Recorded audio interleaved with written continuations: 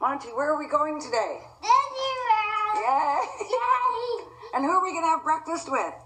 Winnie the Pooh! And what are we gonna eat? Eggs. Yee-hoo. Who else is going to have breakfast with us on that day? Do you know? Auntie Sarah! Oh, Auntie Sarah's gonna be there.